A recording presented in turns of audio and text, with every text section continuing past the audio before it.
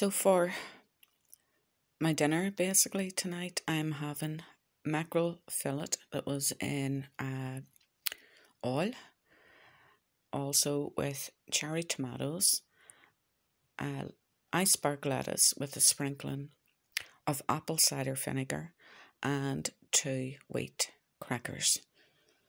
And it's so healthy for you and so tasty.